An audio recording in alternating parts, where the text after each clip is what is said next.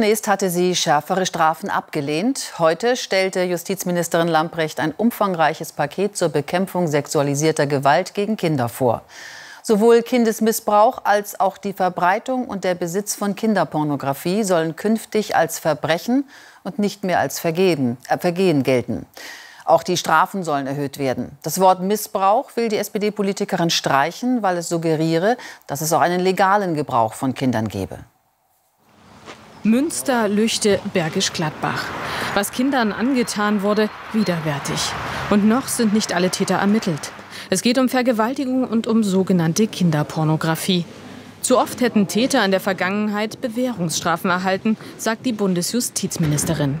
Deswegen ist es wichtig, dass sowohl die Ermittlungsarbeit ordentlich weiter ausgebaut wird, dass Ermittler in die Lage versetzt werden, diese wichtige Aufgabe wahrzunehmen. Aber es ist auch wichtig, dass sich in den Urteilen das Unrecht dieser Taten ausdrückt. Wer Kindern sexualisierte Gewalt antut, dem droht bislang eine Mindeststrafe von sechs Monaten. Maximal sind es zehn Jahre. Künftig sollen solche Taten mit mindestens einem Jahr und maximal 15 Jahren bestraft werden. Wer sogenannte Kinderpornografie besitzt, muss bislang mit einer Geldstrafe oder bis zu drei Jahren Haft rechnen. In Zukunft soll das Strafmaß zwischen einem Jahr und fünf Jahren betragen.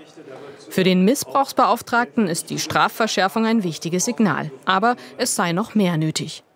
Der entscheidende Punkt, die goldene Brücke, um Missbrauch in Deutschland wirklich einzudämmen, ist das Entdeckungsrisiko zu erhöhen. Wir brauchen starke Jugendämter, starke Ermittlungsbehörden und auch starke Familiengerichte. Die Justizministerin will nun Familien- und Jugendgerichte besser qualifizieren. Zudem sollen die Länder ihre Richter und Richterinnen zur Fortbildung verpflichten.